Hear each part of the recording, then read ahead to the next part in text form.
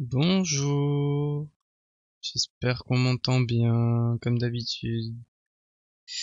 Je vois que les habitudes ne sont pas là, mais ce n'est pas très grave.